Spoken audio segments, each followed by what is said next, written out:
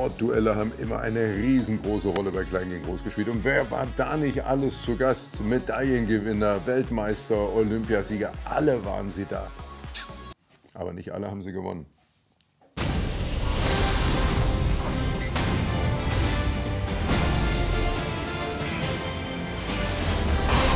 Fabian Hambüchen, 23 Jahre alt, 1,63 Meter groß, Beruf Turner. Er ist 26-facher deutscher Meister und sechsfacher Europameister, Weltspitze an allen Geräten. Ja, der Fabian Hambüchen ist auch ein Riesentalent. Also ist eines der, der größten Talente, was wir unter den Kleinen äh, bei uns das noch gesehen haben. Kann ich vielleicht an der Stelle mal sagen, Fabian Hambüchen äh, ist wirklich der, der am häufigsten mit dem heutigen Auftritt äh, hier in der Sendung zu Gast war. Ist dein vierter Auftritt bei Klein gegen Groß? Gute Nachricht für euch, er hat erst einmal gewonnen. Ne? Ja? Es ist kein Zufall, dass er der Gast äh, ist, der am häufigsten bei uns war. Denn äh, wir müssen, glaube ich, rückblickend auch sagen, ohne den Turnsport und ohne das Klettern im Speziellen hätte es vielleicht klein gegen groß äh, nie gegeben und vor allen Dingen nicht so lange gegeben. Denn äh, gerade aus diesen beiden Sportarten haben wir uns doch mit so vielen Dingen bedient. Da gibt es so viele Elemente, Trainingselemente, äh, Disziplinen, die wir dann in äh, wunderbare, spannende Duelle äh, überführen konnten und die dann bei uns stattgefunden haben. Und da ist natürlich auch klar, dass die Turnelite bei uns auch als Gegner natürlich äh, sehr häufig dann zu sehen ist.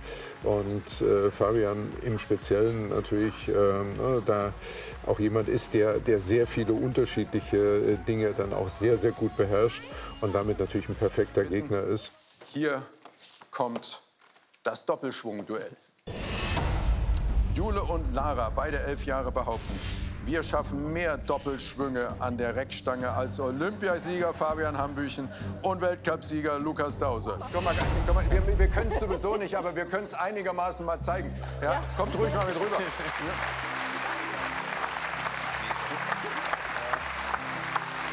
Wir müssen einmal hoch. Ja, wie, ach so, ja, sitz, hinsetzen könnte ich mich. Na, pass auf, also es ist so, du hängst so rum, ja. ich hänge so rum. Ja. ja? So. so. dann hängt man. Ja. So, und dann, so weit geht's. dann holt man Schwung. Ja. ja. Und dann springst du ab und In wechselst. die Richtung? Hier, ja, du springst so. quasi so rum. Ach so, so, so? rum. Und ich hier und ich so rum. Ne? Ja. Und dann Schwung wieder und hab. Nichts leichter als das. Und hab. Hey. Das ist auch so was, da guckt man drauf und denkt dann erstmal, oh, das kann ich auch. Ne? Aber das kann man mal ausprobieren. Ja, das ist eine richtig komplizierte Übung. Meine beiden Daumen sind gedrückt, einer für jeden. Und ich sage klein gegen groß, auf los geht's, los! Eins, zwei, drei. Eins.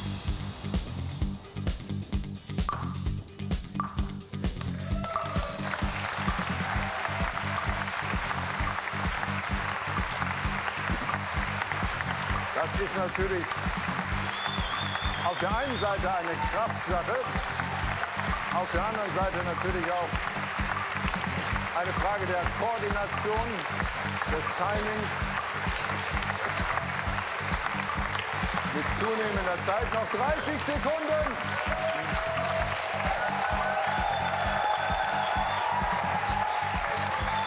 Die fliegenden Zwillinge von der Donau. Die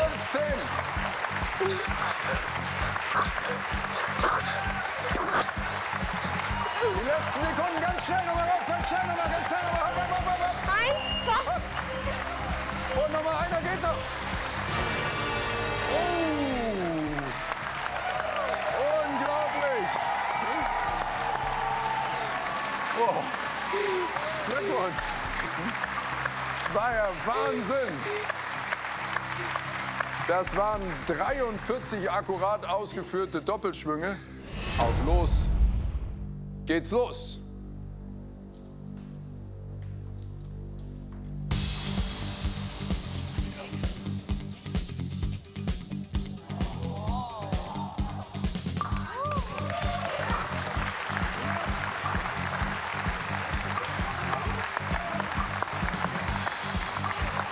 Man sieht natürlich hier bei den Großen, ne, da wo die, wo die kleinen Mädels fliegen, äh, müssen die einfach umgreifen. Äh, das geht dann nicht mehr so einfach. Aber gerade äh, für die Turner natürlich auch immer eine super Rampe gewesen bei Klein gegen Groß, denn äh, meistens lief es international bei den Wettkämpfen danach richtig gut bei ihnen. Ne? Lukas Dauser jetzt gerade wieder Medaille in Tokio gewonnen. Durch bis zum Schluss. Oh, und vor allen Dingen jetzt aufpassen, dass man nicht erschlagen wird vom Teammitglied. So, hoch wieder und wieder Schwung holen.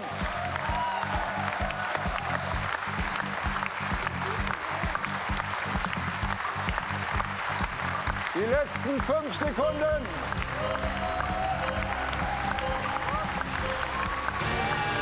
Und da ist aus. Aus, aus. Oh. Wow.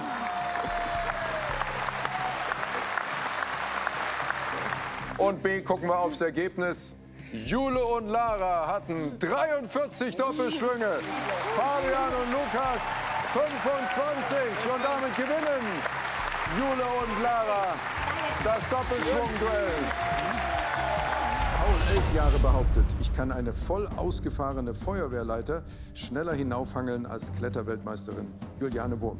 Ja, irgendwann sind wir mit Duellen nach draußen vors Studio gegangen, weil äh, für die Duelle im Studio kein Platz war. Ähm, die haben einfach dann Dimensionen angenommen oder es waren so große Gefährte damit äh, verbunden, dass das gar nicht im Studio möglich war. Und äh, dann mussten wir raus, dann mussten wir nach draußen. Dann gab es äh, die, die ersten großen Außenduelle äh, bei Klein gegen Groß. Und ähm, es ist immer eine ganz besondere Herausforderung, äh, besonders eben auch für unser ganzes Team weil da gibt es natürlich einiges äh, an äh, Extras, die dann geleistet werden müssen. Ähm, das findet ja dann im Dunkeln statt und da muss da außen noch Licht hin. Über diese Leiter geht es hoch zur ersten Sprosse. Von da an startet ihr und dann kann man jetzt von hier unten gut nach oben schauen. Es ist ein langer, langer Weg bis hoch zur Glocke. Und es war auch noch super kalt da draußen. Ne? Das ist äh, auch der Grund, warum sie die Wärmflaschen da in der Hand haben. Ja, also ähm, da muss man natürlich auch sehen, ne, mit den Händen ein kaltes Metall, wissen wir alle, macht es nicht einfacher. Paul, dann von mir, toi toi toi. Und die Zeit beginnt natürlich zu laufen, wenn du da oben die erste Stufe nach oben hangelst. Und ich sage, klein gegen groß, auf los geht's, los!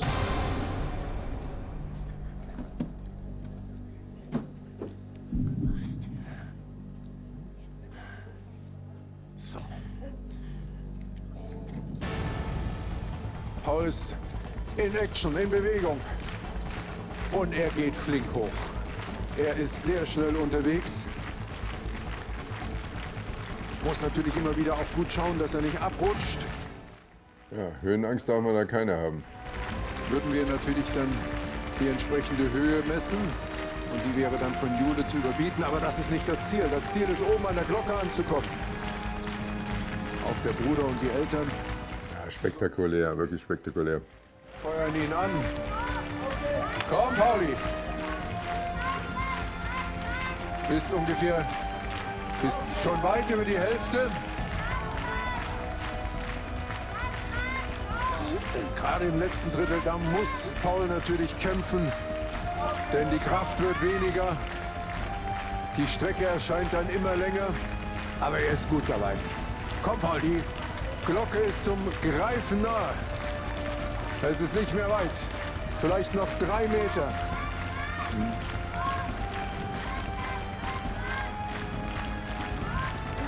Weiter geht's, Paul, weiter. Er denkt gar nicht daran, wie hoch er jetzt über dem Boden ist. Er denkt nur daran, die Glocke zu erreichen. Und er ist kurz davor. Komm, Paul, weiter. Noch ein kleines Stück, vielleicht noch einen Meter. Jetzt sehen wir dich schon zusammen mit der Glocke im Bild. Noch drei Stufen. Noch eine hoch und dann geht's schon. Jawohl! Spektakulär, Paul. Super gemacht. Aber Kletterinnen und Kletterer haben auch immer große Rolle bei uns gespielt. Das haben wir so oft gesehen, ne, dass äh, die Sportler natürlich die Großen äh, am Anfang wahnsinnig schnell loslegen, aber irgendwann merken sie natürlich dann auch das Körpergewicht und äh, dann merkt man natürlich auch, ne, dass, die, dass die Muskeln dann langsam zumachen. Aber in diesem Fall ähm, hat Jule Worm wirklich, wirklich hervorragend performt. Jule, dann auch für dich. Zeit läuft, wenn du die erste Sprosse nach oben gehst. Okay. Wann immer du willst. Auf los geht's. Los! Sie geht natürlich mit deutlich mehr Kraft entsprechend schnell hoch. Aber kann sie dieses Tempo durchhalten? Das haben wir schon so oft gesehen, schon in so vielen Duellen gesehen, dass die Großen mit viel Tempo vorlegen und dann ab der Hälfte natürlich kämpfen müssen. Und dieses Tempo, aber das sieht gut aus, da ist sie gut unterwegs. Aber sie ist natürlich Boulderin.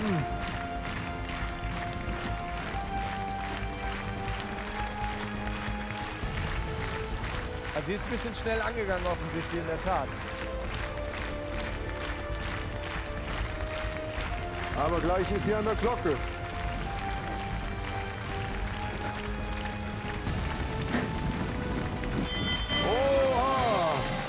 Respekt, da kann man nichts sagen. Das war ein toller Durchgang, das war eine tolle Zeit. Also erstmal völlig unbeeindruckt vom Ergebnis. Ihr wart beide super gut, äh, habt alles gegeben, habt hart gekämpft. Aber Jule Wurm mit äh, unter einer Minute 57,5 Sekunden macht hier das Rennen und ist ein Stück schneller als Paul gewesen, was aber deine Leistung auf keinen Fall schmälert, denn äh, mit elf Jahren sich äh, in diesem Tempo dann nach oben zu bewegen und zu trauen, das ist aller Ehren wert, Paul. Das hast du super gemacht. Aber Glückwunsch an Juliane Wurm. Leonardo, elf Jahre behauptet, ich erkenne mehr Wimbledon-Matchbälle allein am Ton als Boris Becker. Wer mehr Matchbälle richtig erkennt, gewinnt das Duell. Krasses Duell. Leonardo und Boris hören jeweils abwechselnd vier Matchbälle aus Wimbledon-Endspielen der letzten 50 Jahre. Dazu müssen sie das Jahr, die Paarung und das Ergebnis korrekt benennen. Ja, also das, da muss ich wirklich sagen, also das, äh, das Match, das Wimbledon-Matchball-Duell zwischen Leonardo und Boris Becker, das war tatsächlich so ein Duell, wo ich gesagt habe, das, das halte ich für fast unmöglich. Ja, und ähm, vor allen Dingen auch äh, die Frage, ähm, wie kann Boris Becker sich da überhaupt so reinfinden, ähm, dass er da überhaupt den Hauch einer Chance hat. Ne? Klein gegen Groß, auf los geht's, los! Leonardo, hör gut hin, hier ist der erste Endspiel-Matchball für dich zum Hören.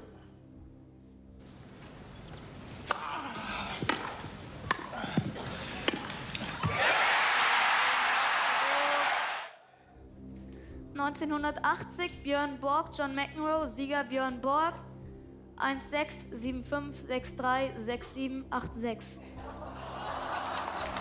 Ich würde, kein, ich würde kein einziges Match am Geräusch erkennen können. Also nein, so, so weit geht es nicht. Nein. Also ich habe viele Wimbledon-Finals gesehen, ich habe viele Fußballspiele gesehen, aber ich würde kein einziges Spiel am Geräusch erkennen. Die Partie war richtig benannt das ja auch. Da sehen wir den Spielstand und auch den hast du vollkommen richtig wiedergegeben. Erster Punkt für Leonardo. Das alleine wäre ja schon faszinierend, ne? dass man äh, quasi die Ergebnisse der einzelnen Finals inklusive der Besetzung kennt und so. Aber dass man das dann auch noch wirklich am Ton des Matchballs erkennt, äh, das ist einfach nur verrückt. Ne? Und, und Boris hat ja auch richtig abgeliefert. Ne? Man hat ja auch oft genug im Finale von Wimbledon gestanden, aber äh, es gab eben auch Matches, wo er nicht persönlich anwesend war. Damen-Tennis. Navratilova Evat, 78, 266475 Navratilova. Ja. Wir überprüfen das. Absolut korrekt.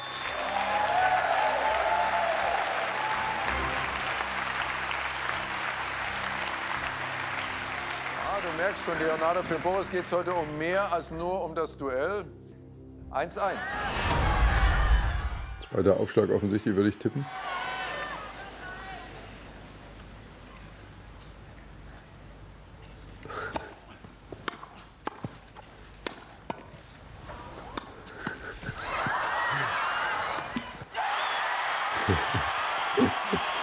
ja, das sollte er wissen.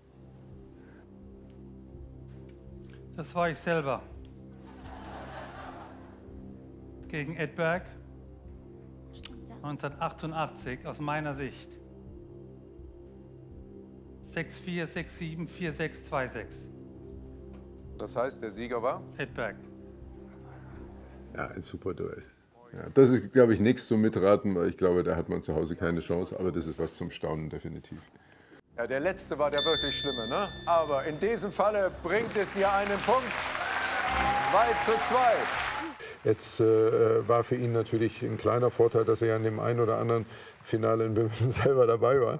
Ähm, allerdings waren die äh, Matchspieler dann wiederum äh, nicht so zahlreich vertreten, äh, an denen er selber beteiligt war. Also von daher, äh, und das war so spannend.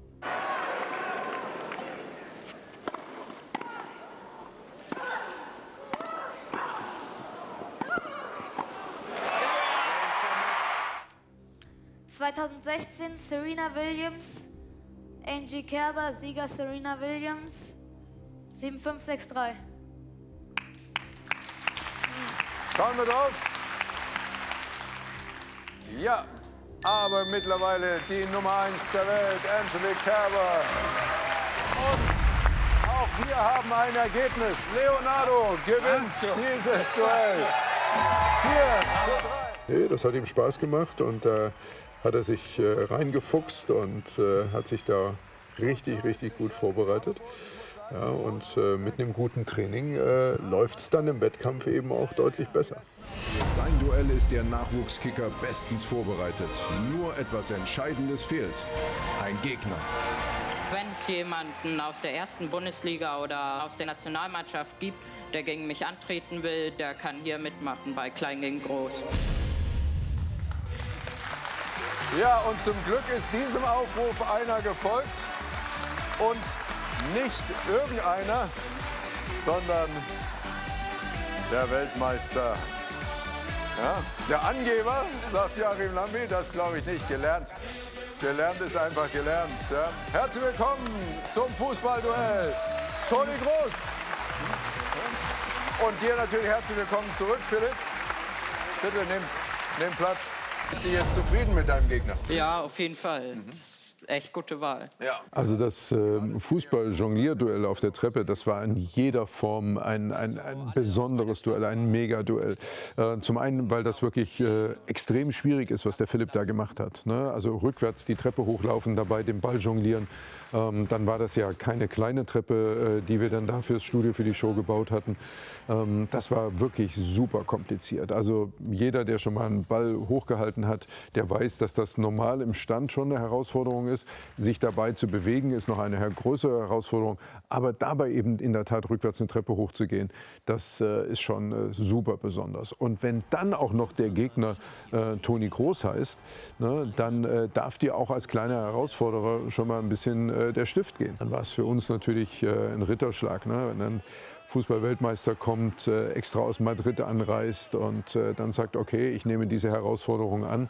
Und äh, ja, es ist nicht so einfach, dann auch Trainingsmöglichkeiten zu finden, wo man das auch mal ausprobieren kann. Dass Toni den Ball hochhalten kann, ich glaube, das ist uns allen klar. Aber wie wird er sich dann auf der Treppe schlagen? Philipp, 13 Jahre behauptet, ich schaffe es, 20 Stufen einer Treppe mit einem Ball auf dem Fuß jonglierend, schneller bis nach oben als Weltmeister Toni Kroos. Auf los geht's los!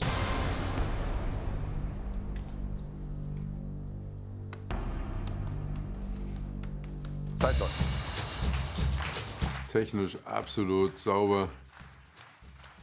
Also ich habe ja auch mein Leben lang Fußball gespielt. Und äh, jetzt, ich bin jetzt, äh, bin jetzt kein, kein, kein Messi am Ball, ne? aber äh, ich sag mal, Ball hochhalten kann ich schon auch. Aber alleine nur auf einer geraden Fläche den Ball hochhalten und rückwärts laufen, das kann man mal ausprobieren. Das ist schon richtig schwer.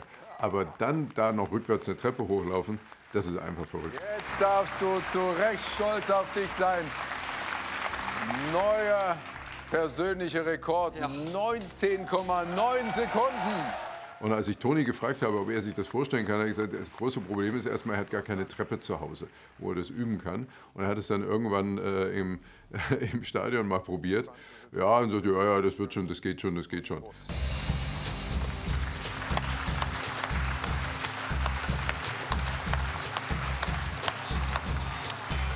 Und das ist jetzt der letzte Durchgang.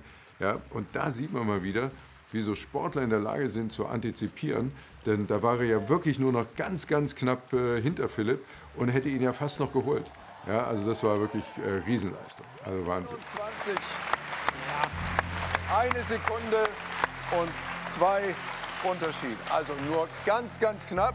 War gut, dass du noch mal richtig einen rausgelassen hast. Sonst äh, wäre es wirklich ganz eng geworden. Also knapper Sieg. Aber Philipp gewinnt das Fußball-Duell. Katharina und Franziska haben eine Minute lang Zeit, in einem fünf Meter langen Becken so viele Rollwänden wie möglich zu schaffen. Dabei müssen sie bei jeder Rollwende mit mindestens einem Fuß die Wand berühren. Wer die meisten Rollwänden schafft, gewinnt das Duell. Klein gegen groß. Auf los geht's. Los! 60 Sekunden, wenn sich Katharina vom Beckenrand löst. Jetzt! Genau. Dürft sie gerne unterstützen. Ihr seht, technisch sauber und optimiert. Immer ein. Das ist immer ein besonderer Aufwand, äh, wenn wir ein Schwimmbad ins Studio bauen. Ja, denn äh, das muss ja erstens reingebaut werden, dann mit Wasser befüllt werden und so. Also das ist äh, durchaus großer Aufwand, der da betrieben wird. Sie sehen es eingeblendet. Hälfte der Zeit ist jetzt um. Und es gilt natürlich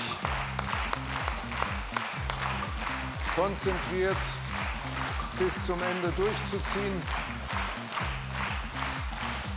Noch 15.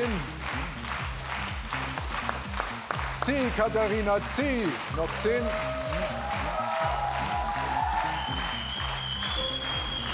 Ah, eine geht auf jeden Fall noch. Komm, komm, komm, komm.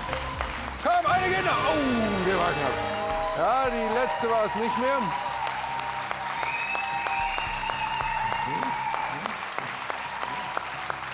Sehr gut, es waren 23. 23 Rollwänden in 60 Sekunden. Ab jetzt.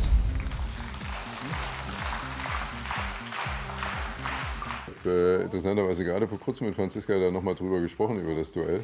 Und sie war am Anfang ähm, so, ja, sagt sie mal, gucken, was geht und so. Ne? Aber sie sagt, in dem Moment, als sie im Wasser war, war das so wie früher. Ne? Wenn ich ins Wasser gehe, will ich gewinnen. Sonst wird sie ja gegen die Wand gehen. Die ist ja viel größer. Noch 30 Sekunden. Ich wage mal vorherzusagen, dass das eine enge Geschichte wird. Auf jeden Fall. Das war von Anfang an klar. Bei Sportlern, das haben wir natürlich äh, so oft erlebt, ähm, ist das eh so genetisch verankert, ne? dieses immer gewinnen wollen. Aber sonst wären sie natürlich auch nicht so erfolgreich geworden in den verschiedenen Sportarten. Ja.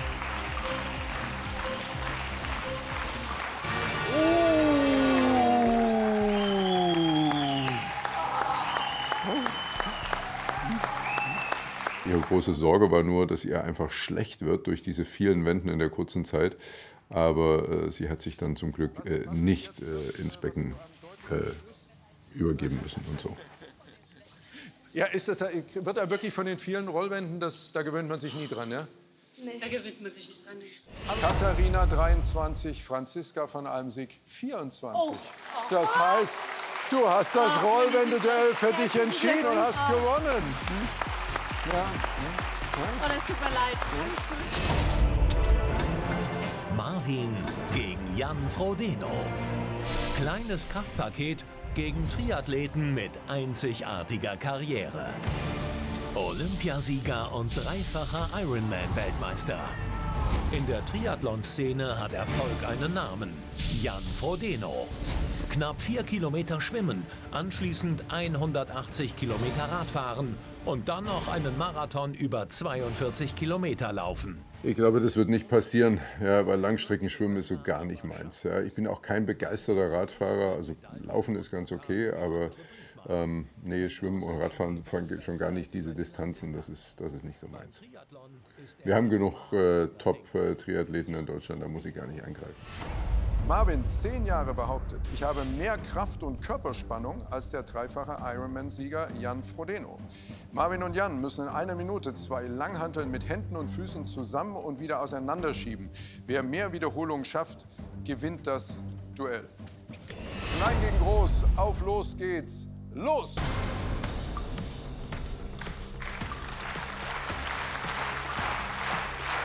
Auch ein bisschen Schwung holen hilft natürlich. Eine mega komplizierte Übung. Also der eine oder andere hat das ja vielleicht mit so einer kleinen, mit so, es gibt ja diese Bauchrolle. Ne? Also da weiß man, wie anstrengend das sein kann. Und äh, das ist hier nochmal einer oben drauf. Wurde. Komm! Sehr gut, Marvin. Du hast noch 20 Sekunden. Komm, auf geht's! Noch 15. Noch 10.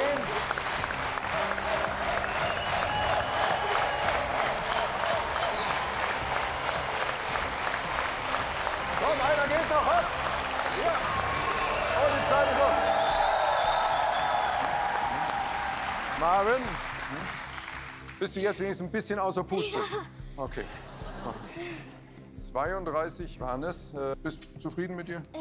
Ja. So, dann sage ich auch für dich, auf los geht's los. Die Zeit läuft mit der ersten Bewegung jetzt.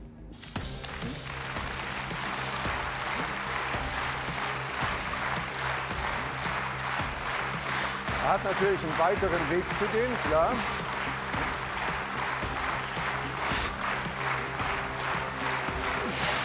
Aber sehr sauber ausgeführt. Es ist ja auch noch ordentlich Zeit.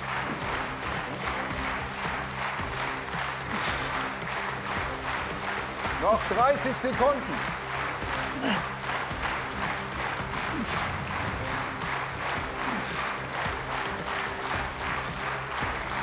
Noch 20.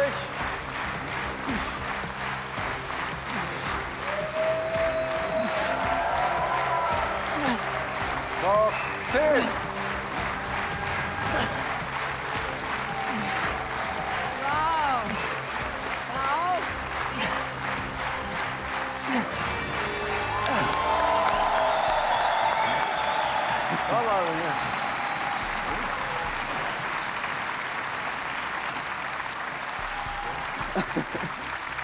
Glückwunsch. Ja, das war eine saubere Leistung. Ja? Oh, ich kann nicht mehr.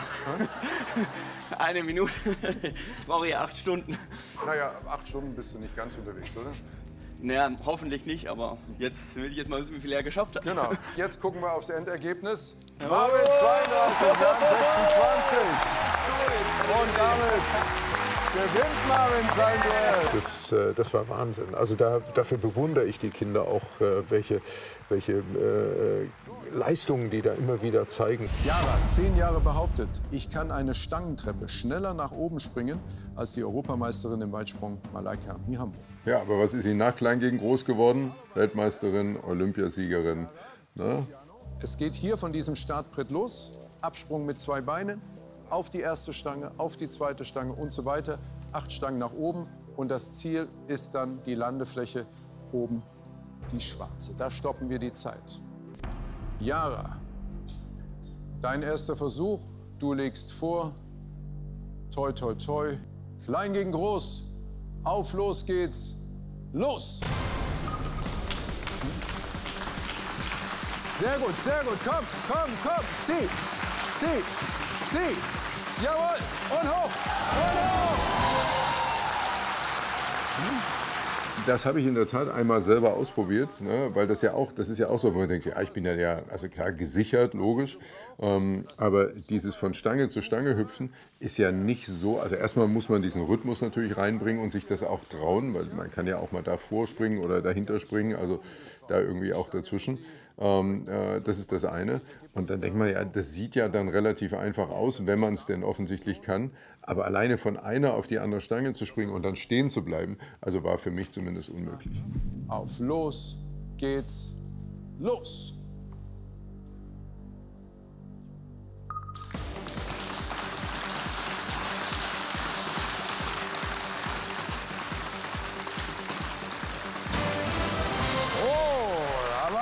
Ein bisschen was drin. Ja? Wirklich Wahnsinn. Und Achtung, wir sind bereit für den zweiten Versuch.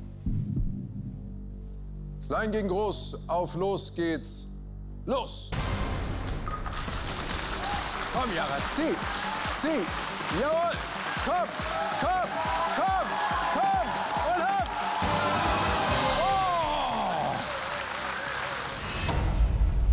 Toi, toi, toi.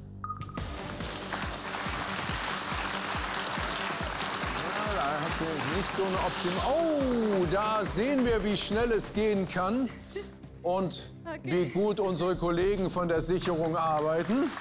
Ja? Auf, los geht's. Los!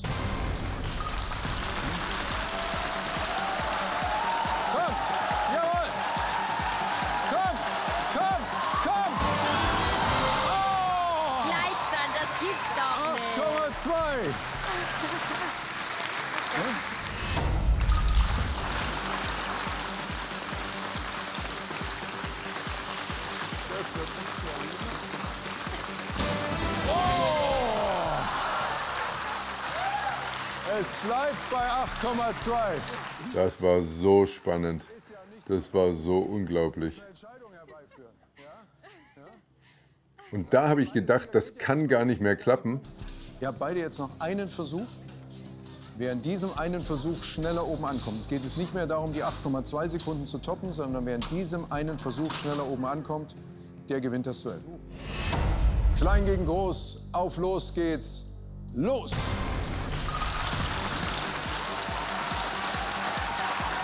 Jara, zieh! Komm, komm, komm! Und hoch und hoch und hoch! Jawohl!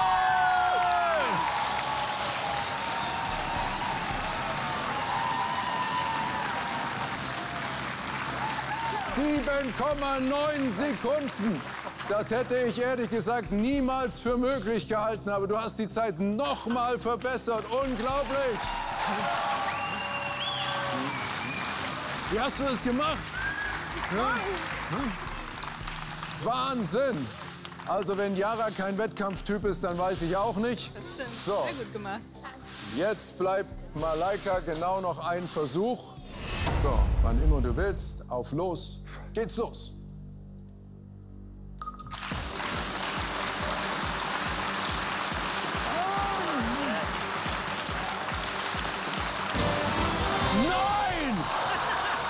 Ist ja nicht zu fassen. Das hätte ich niemals äh, für möglich gehalten. Aber der letzte Versuch hat noch mal eine neue Bestzeit gebracht. Und das, obwohl du zwischendurch fast schon gestanden hast. Da habe ich schon gedacht, oh, jetzt ist es durch. Aber am Ende waren es dann 7,7 Sekunden. Und damit gewinnt Malaika Mihambo das Stangentreppenduell. Ja?